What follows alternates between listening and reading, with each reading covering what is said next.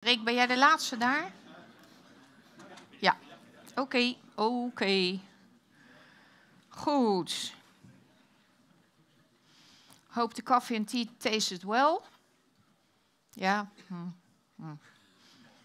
Good enough. Hans. Our next speaker will be Hans. Hans Hazebroek, colleague firefighter officer. He and he's a senior researcher at the Netherlands Academy for Crisis Management and Fire Service at NIPV. He has worked on several projects, ranging from incident command to smoke propagation.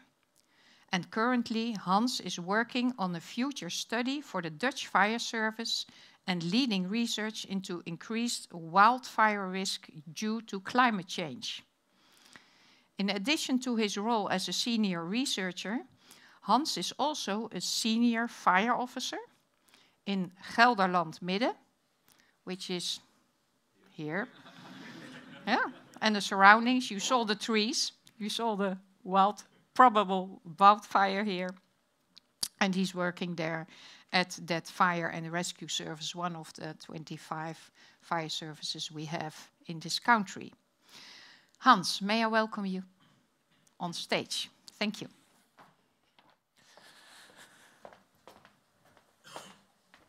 And I'm not on duty at the moment, so I should be clear to do this, uh, to do this presentation. Um, good morning, dear colleagues. Um, on the 13th of January of last year, in the, early hours, in the early hours of the morning, a serious fire occurred in a nursing home in Rotterdam. Due to the fact that a number of the researchers of the Rotterdam Brigade, who would normally head up the evaluation, were themselves involved at the incident. We were asked at, as the NIPV um, to lead, to do this, uh, to do this evaluation.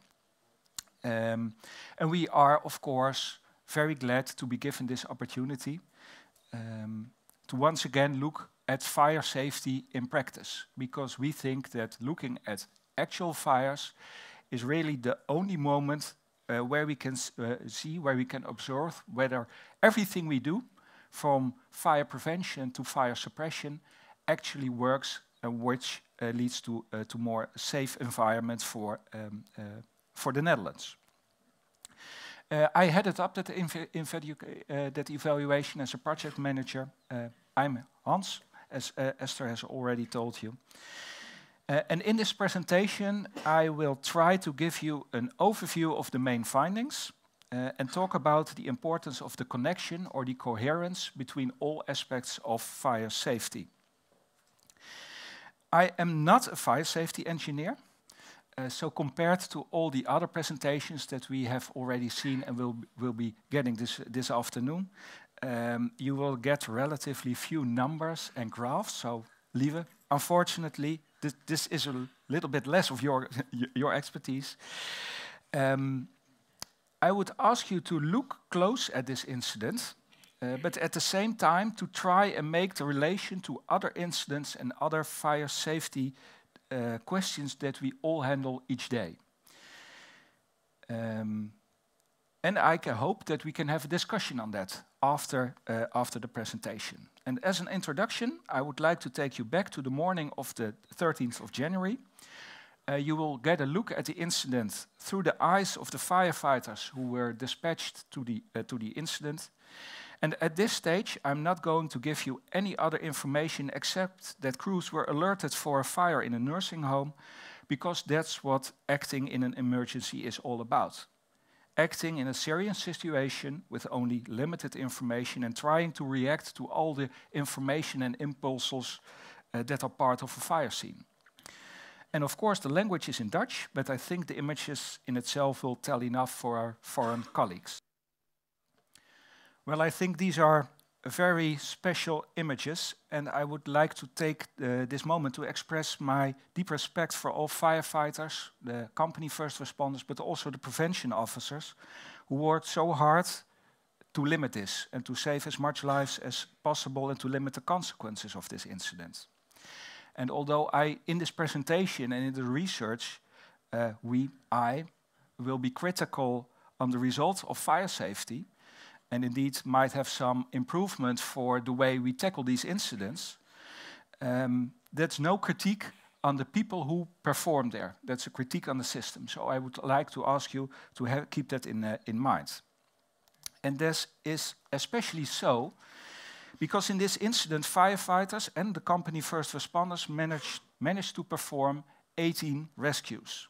Sadly, one life was lost, uh, but when the fire service and the first responders wouldn't have done such a magnificent job at this incident, we might well have had 18 fatalities and front page news all over Europe.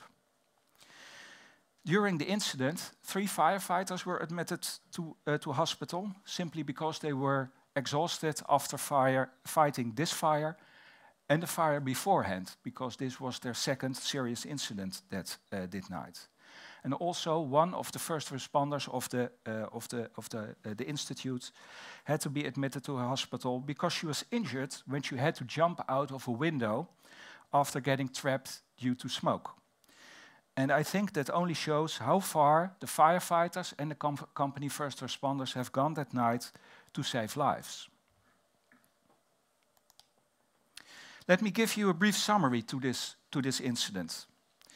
At 0552 hours, uh, an automatic fire alarm was, uh, was activated, uh, which automatically alarms the emergency response from the, from the institute, um, and is also automatically forwarded to the fire and rescue service, starting off a ver verification process, which took about two and a half minutes, after which the first appliance of the fire service was alarmed.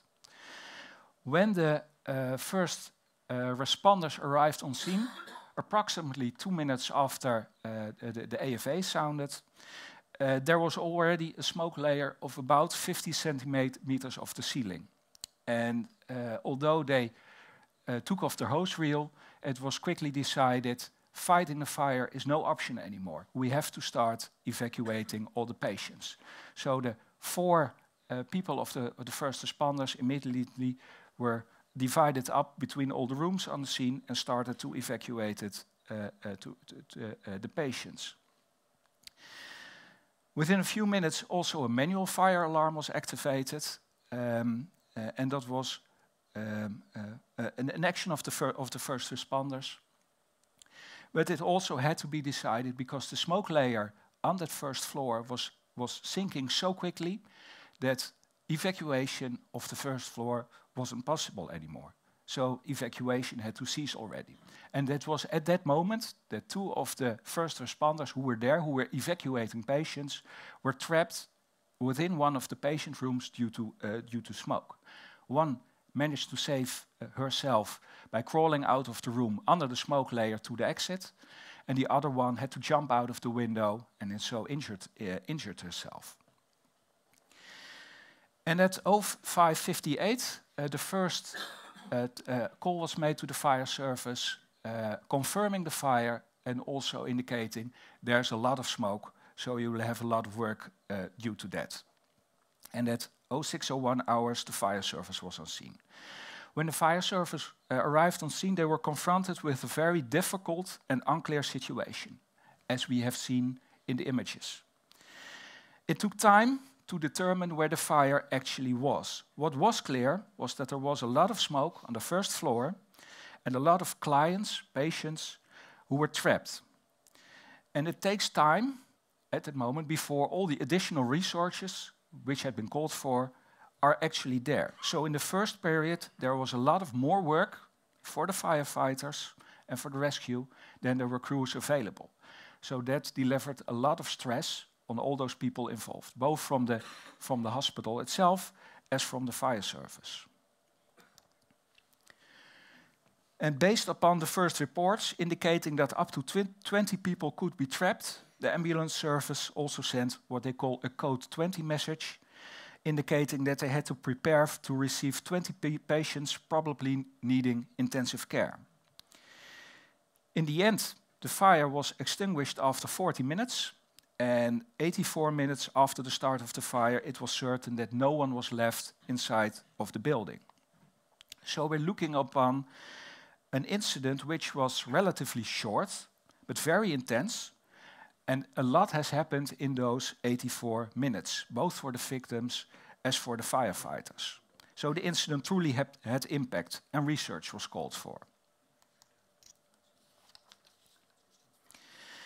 And if research is called for, one has to ask the question, what do you want to know? Because you can't research everything. And in close collaboration with the Rotterdam Fire Brigade, it was decided to look first at the factors which contributed to the incident and the outcome. And second, to the lessons which can be drawn. And you see that both these questions are systemic. Uh, not as much aimed at this particular uh, incident, but, but more asking question about which system has led to this incident and also to the response of this incident. And we used the fire characteristics scheme uh, to arrange the findings. And I will also use this scheme to organize this presentation, starting off with the building characteristics. Um, I will show you some images of uh, the building concerned. And what you're looking at at the uh, left picture uh, mainly is the main building. That's the Aafje Smeetsland nursing home, where they treat mainly geriatric and psychiatric patients. And you look upon here at a temporary building. And that is the building where the fire eventually took, took place. And the temporary building was erected because the main building uh, uh, was being renovated. So they needed temporary space to house, to house uh, patients, clients. And uh, in the top right, you see the, uh, an, uh, an overview picture of that the temporary building as it was just after it was, after it was erected. And top down, you can also see um, how uh, the building actually was uh, constructed. These were steel units connected up, uh, connected up together until they formed a building. In between, there was a concrete floor, mainly for the, for the hallway. but it's, it's more or less, yeah, as I said, it's a coupled up system eventually leading up to a, to a building. And each unit had an isolated wooden floor on top of which marmoleum was added as covering. Each unit had a steel roof with polystyrene uh, uh, insulation and bitumen covering. And there were one and two person rooms for in total 20 bedridden patients per uh, story, per, uh, per layer. And the temporary housing consisted in total, as I said, of two floors and three fire compartments. So each fire compartment comprised two floors, um, and there was a full detection for smoke uh, within, uh, within this temporary building. And uh, as I already mentioned, there was a silent evacuation alarm, meaning that uh, when the AFA was sounded, uh, the occupants didn't hear anything. The alarm went through to the first responders who were um, uh, who had to evacuate patients when, when necessary. And very important for, for this incident uh, is the fact that each room was attached to the central ventilation system with an influx of fresh air over the doors and an outlet over the washing basin. And there's a simple ventilation opening in which there's foam which will expand when exposed to heat uh, and as such prevent fire from spreading. And as we see in the hallway, this uh, opening comes out on top of the ceiling. And in this, you can also see the diagram of the ventilation system. And in for the non-Dutch speakers, the toevoerlucht, which is in blue, stands for the influx, and the outlet is in red, where dirty air is sucked out over the ceiling. And once a fire alarm is activated, valves, valves come into place and as I said, a foam layer was installed to ensure that fire could not break through the walls between the hallway and the, uh, and the rooms. And as you might already suspect, of course, the ventilation was a problem during the incident. looking more closely upon the, the building characteristics, you also have to wonder why? How, how did this happen? Um, and what we see is that in all four phases of the process which leads up to the fire prevention advice, there is in theory room for risk-based advice uh, uh, assessment. And in practice, uh, we see this is especially being done in the initiative phase. And this principle is based on stimulating the initiator of the project to do more than legally required in terms of fire prevention. For instance, to add sprinklers or to take extra measures to control spreading of smoke. For instance, what Peter has shown us uh, yesterday. But there is no clear legal framework for this advice. So we are entirely reliant upon the will of the initiator of the project whether they will take, it, take this over. In the other phases, there is also a possibility, but it is more limited to do risk-based advice.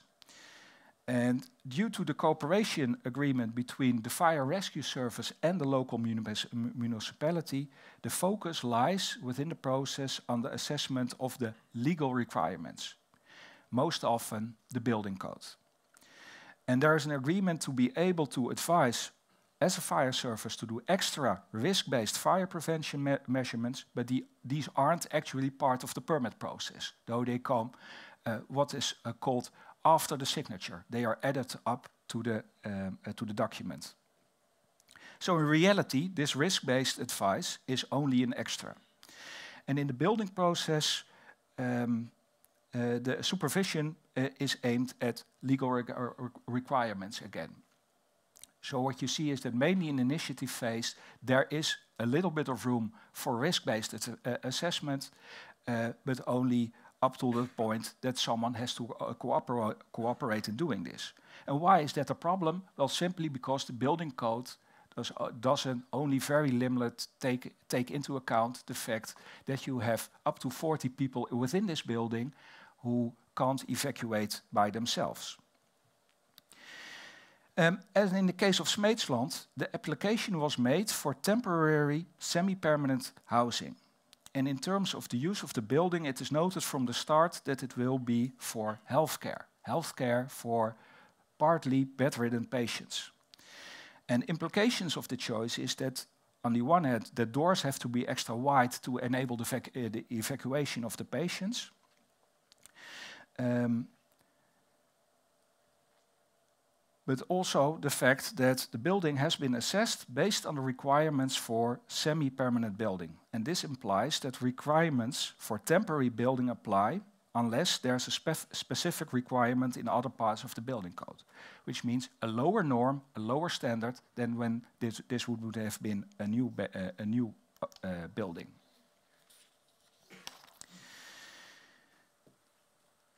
In summary, what we're looking at is a semi-permanent building um, for which, from a legal standpoint, almost everything is in order. Um, uh, according to the law, this was a fire-safe building. Um, and what we saw, uh, what we saw was what, uh, that, what that means in, the, in practice. It was planned as a building for healthcare. Um, and which is important is that, is that in a building for healthcare, it is allowed to have a fire load in the hallways because of the fact that it is supposed to be that company first responders, there, uh, that there are enough company first responders who can simply evacuate all the patients in time um, um, uh, before they are really threatened by fire or smoke. Um, in practice, it was different, but we come to that, uh, we come to that later. And what we see was that it was also supposed to be in the planning stage and in the permit stage that access for the fire and rescue service should have been through stairway one. But looking at the next factor, which are the environmental characteristics, and looking upon the fact that the fire service was supposed to enter through stairway one, this was the situation that it was during the fire just picture was taken during daylight. It was dark, of course, but this was the setup when the fire actually happened. And I ask you the question, where is stairway number one. Uh, basically, the uh, it is you see it by the, the, the the green arrow. Of course, we're being helped, uh, but there was also the, there was the red flashing light, etc. But they were all not uh, not visible. And in reality, uh, we also we're, we're looking at the fire hydrant at this moment. Um, and uh, zeg maar, we, we have to look for it. The firefighters had to look for it as well that night. But they had to look for it under, under a lot of stress. Um, and you also see, for instance, there was an annex built between the main building and the temporary building, uh, which was covered. Um, uh, th there's even the, the emergency exit sign over there, but that lead up into this neatly comparted, uh, comparted fence.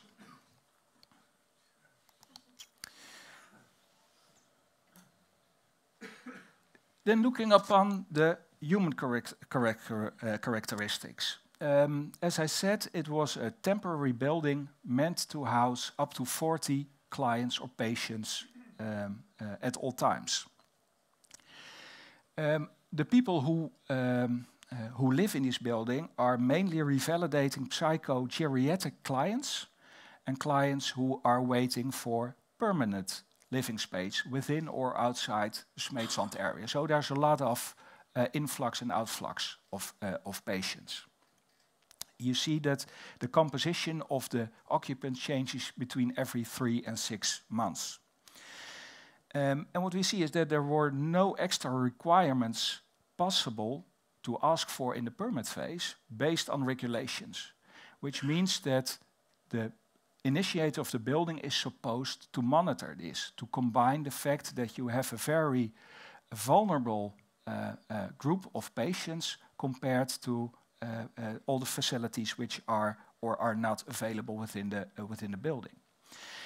And also in practice, what we noted during the incident was that none of the clients was actually able to evacuate by him or herself. And uh, so it meant that we totally had to rely on the company first response and also on the fire and the rescue service.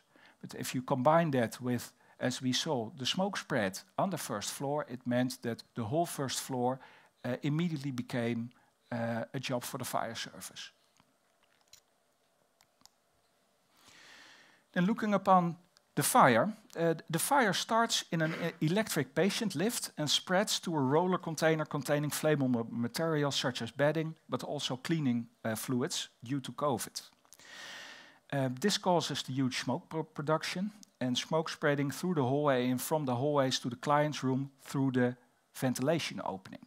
Because at that point, the smoke isn't hot enough to start foaming up all those ventilation openings. So within minutes, you see that virtually all the patient rooms in this hallway are flooded with, uh, with smoke. Because we know the ceiling was meant to pre prevent fire from spreading, not smoke. Uh, and as I said, within two to three minutes after the start of the fire, a smoke layer had been formed of about 50 centimeters. This, this was observed by the company first responders. And after about five minutes, the hallway was fully filled with smoke. And that was approximately the moment that the first fire appliance was dispatched to the, uh, to the scene. The paneling and the flooring uh, become part of the combustion process as well, and eventually the fire causes the nearby window to break, which is located over here. Um, and as I said, 40 minutes after the start of the fire, it was extinguished by the fire service. Uh, extinguishing the fire took time because they they entered through here, came into the hallway, and uh, it was supposed, we still don't know why, but it was supposed that the fire was in one of the patient rooms. So they started checking all of the, the doors of the, uh, of, the, uh, of the rooms, and only after some time it was decided, well, no, the fire isn't in the room, it has to be in, uh, at the end of the hallway. But that also means that there was such a dense smoke that even with thermal Im imaging cameras, it wasn't possible to observe where the fire was at that, uh, uh, at that moment. And when it was noted, the fires in the end, it was so hot that it simply took time to, uh, to extinguish it.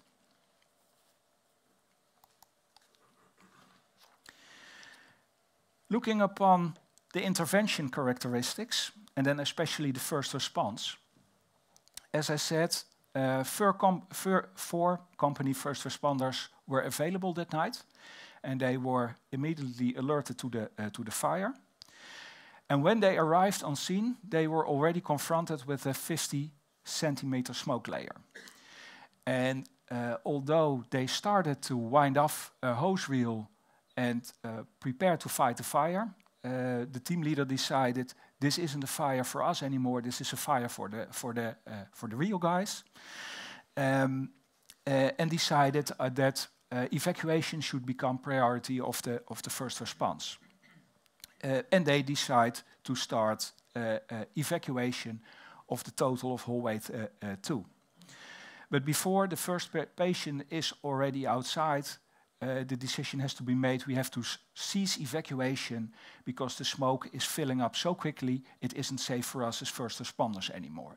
And if we look upon this very closely, even when they arrived within the hallway with a 50 centimeters smoke layer, actually they shouldn't even have been there if we look upon the guidelines for first response. But of course, also these people, they have a very strong connection to the patient, so they, they st uh, start start to do everything what's possible. But in that process, two of the first responders become trapped due to the smoke. And one of those uh, eventually finds the exit by crawling through the smoke, as much under the smoke as possible, through the hallway to the exit. The other one, he opens the window of one of the patient's room, uh, uh, climbs out, then the, the drain pipe lets loose and, and falls down. But that means that 18 clients at that moment remain in their rooms on the, on the first floor. And uh, immediately thereafter, the company first re response switches their attention to the ground floor. So they start ev evacuating the, the, ground floor, but they know that there's 18 people still, uh, still, uh, still up there. And as we have seen in the, in the, uh, the film, that the people who are up there, they are not self-reliant, they have to be helped, uh, and in a lot of cases even have to be carried down. So that means a lot of a lot of work. And not unimportant in that respect is that the clients they were very they were very passive. They were very unwilling to, to leave. They had to be stimulated in a lot of cases to, to leave their rooms. Um, and that is a whole of a psychiatric process as well. But if you're already looking at psychogeriatric patients who were confronted by a fire in the middle of the night, just when they wake up, I can understand that um, their, their rational process doesn't work as well as it would be normally. then to the, uh, the fire and rescue service. Um, the first crew, which was dispatched to this incident, already had a fatal fire that night. So they, A, already had a, a, a literally a short night, but B, they also already had uh, a lot of pressure, a lot of stress, uh, even before this incident started. Um, it is common uh, in the Rotterdam region, but also in a lot of the other uh, Dutch, Dutch fire brigades, that when an uh, automatic fire alarm comes in, first to verify the alarm with the institute where, uh, uh, where the alarm comes from, simply to reduce false alarms. Such as it was in this case, so there was a ver verification time of two, of two and a half minutes uh, was used. But during that period, the manual fire alarm also uh, also entered, and there was a, a, a, telephone call. So that made up for the fact that from that moment, the fire service responded to this as being a serious incident. But that is easier said than, than done. Having to switch mentally from being woken in the middle of the night for an automatic fire alarm, uh, of which we all know that 95% aren't real, to switching to, oh no, it's a real fire, to, oh no, it's a real fire, but it's also a very serious incident uh, containing a lot of patients, is a very difficult mental uh, switch to make. Yeah, and when the fire service arrived, um, they found that they didn't arrive at the nursing home. They found that they arrived at the building site. Um, so they had problem finding the entrance. Actually, the, the company first, first response res, uh, directed the firefighters to the wrong entrance. Uh, in the end, and to enter the wrong entrance, also a door had to, had to be forced. So there was a lot of mix-ups, etc., at that moment, uh, which led to a little bit of delay in the in the incident. And what, as I said, uh, that that that fact finding and sense making are connected but different processes. And usually, we also uh, we, we always think that first you do the fact finding and then you do the sense making. In reality, they are more parallel processes. But if you see that already fact finding is difficult, you see that sense making even becomes more di difficult. So if you can't find the entrance, you don't know where the fire is, you don't exactly know where the patients are, it becomes very difficult to determine what this fire means as a crew commander, officer, senior officer on, uh, on scene. So we saw in the response that this simply took, took time.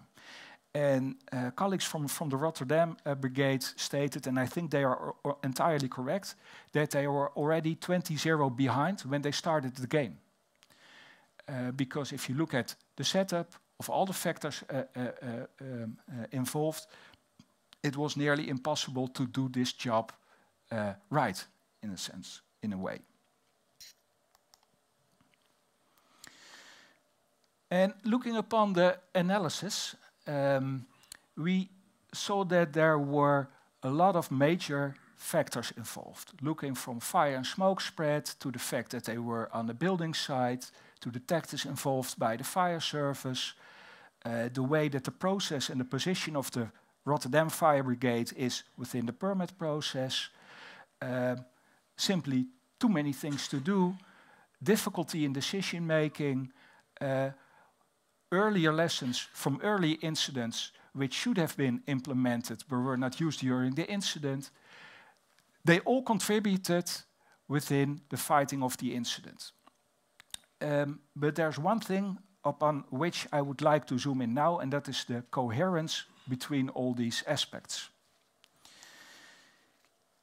Um, because with the choice for healthcare as a building, um, the company first response should have become the basic pillar of fire safety within this building, and as such carries a very heavy responsibility. And in theory, there's then a match between the technical provisions within the building and the company first response. And what we saw that in the case of Smeetsland, this wasn't the case. The gap, which was there due to the, the building and all the the uh, uh, small problems which were there couldn't be filled by the company first responders. And for that, I, I mentioned two, two examples. Uh, the first of them was the fact that the scenario of fire in the hallway was never trained, never mentioned, while it was a very realistic incident within this setup. And second, the dividing of the building into fire compartments which comprise two floors which automatically means that you have to start evacuating two floors when there's a fire, which means you need a lot of, a lot of people to do that. It wasn't taken into account. And of course, all this can be explained due to the budget problems in healthcare. We're, we're very much aware of that. Uh, but the item in the process hasn't been tabled or noted. And I think that is the basic problem underlying.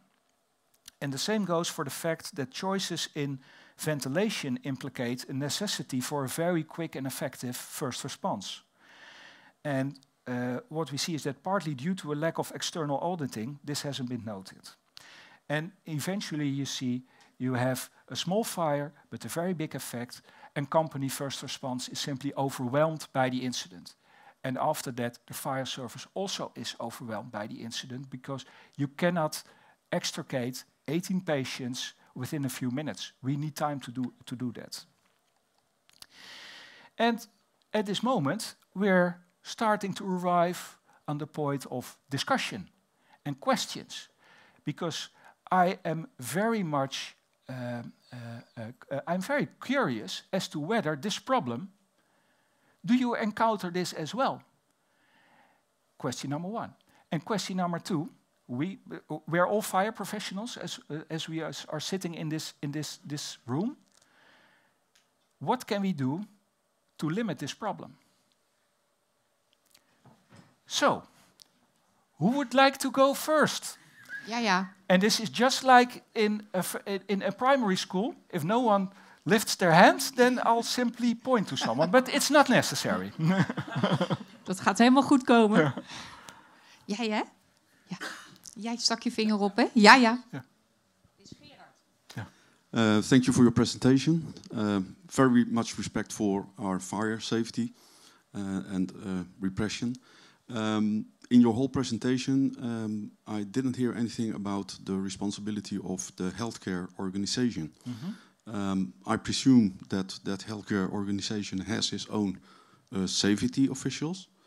And if we look at the premises and all the construction sites and all the things, um, why wasn't that uh, seen before? Yeah, it's, it's, it's a very good question, Gerard. And uh, what we see, what we noted uh, because we have done several interviews with the, uh, with the institute who were um, who actually came up upon us as, as being uh, having a very warm feeling for the patients. So they actually want the best for the patients. But we also noted that uh, uh, they have their own respons responsibility, but they also have advisors. And they simply also uh, a little bit had been having advice in the way of this is the only legal requirement that you have to take. So everything you do on top of that uh, is an extra. It costs money, and that money has to come from your healthcare budget. Um, so they, they, they took the decision to limit that to the, to the, to the, to the, uh, to the lower standards. And also the, the combination, for instance, with the building site um, it, no one has noted the fact that the combination of temporary housing with healthcare in combination with a building site could become a serious problem if there had been a fire. And as I said, eh, it's a combination of a lot of a, a, lot of factors because everyone has too much to do, and if you have too, too much to do, you simply overlook some things. But that that was one of the factors which contributed. Thank you for that, Hans. Yeah. I saw, an, I'll come to you yeah, after him. What's your name, please? My name is John Valierop. Um, I have a question about, well, the same question has been raised.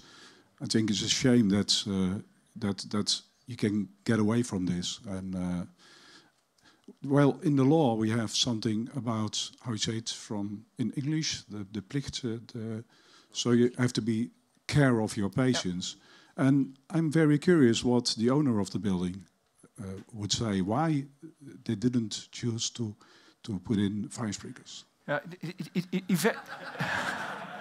ja hoor, ja, het is uh, volstrekt duidelijk uh, waar deze vraag vandaan komt. eventually, because they, they, they based their calculation on the fact that they said, if, if we comply to the law, then we're fire safe enough. That was the consideration made. And all extra facilities, such as sprinklers, would simply cost more money, and that money cannot be, stand, cannot be spent on healthcare.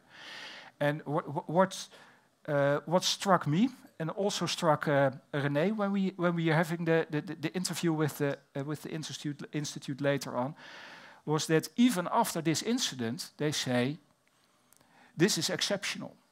And because this is exceptional, we won't immediately start implementing the lessons into all our other buildings. It, I don't, there are some people from Rotterdam in, in, in, in the uh, here. How, how many buildings do they have? Yeah. Yeah, exactly. They, they have a lot more buildings, so potentially a lot more um, uh, uh, bad chance for having a fire. But it, they didn't automatically start uh, changing all their buildings, their way to work, because they say it's exceptional.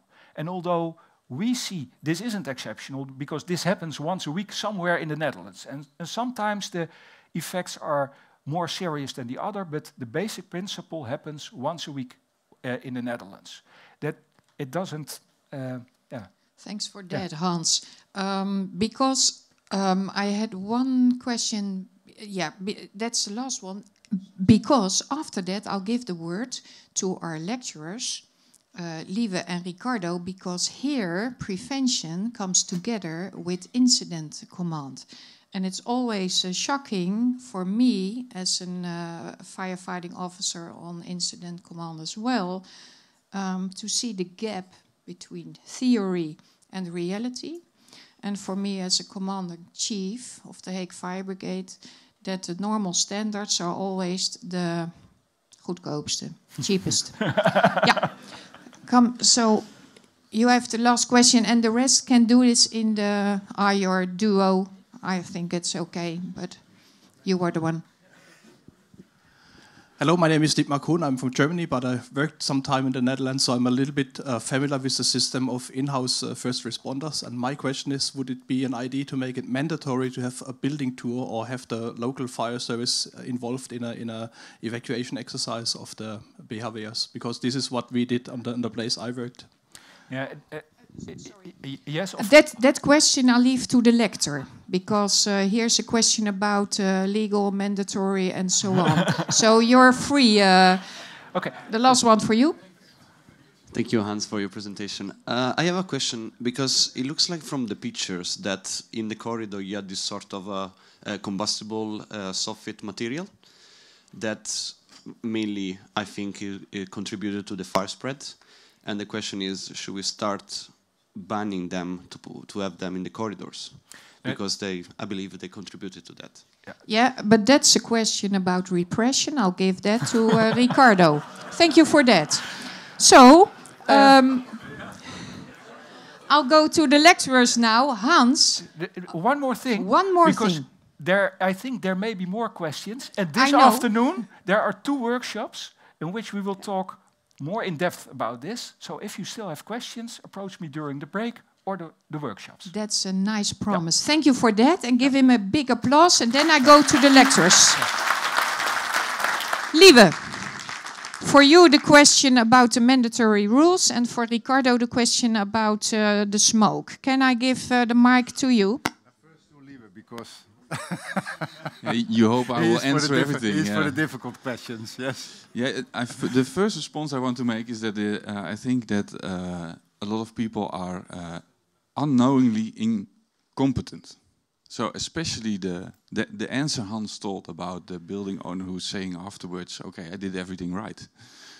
He could have said, "Thank you for this report. I have some things to do," but they are unknowingly incompetent and the second thing I want to make is the, the, the about the question you said. Um, Hans already said it. I think uh, there is a really big gap between building uh, uh, building measures, technical measures, installation measures, and the actual people who are in the building and dealing with the patients.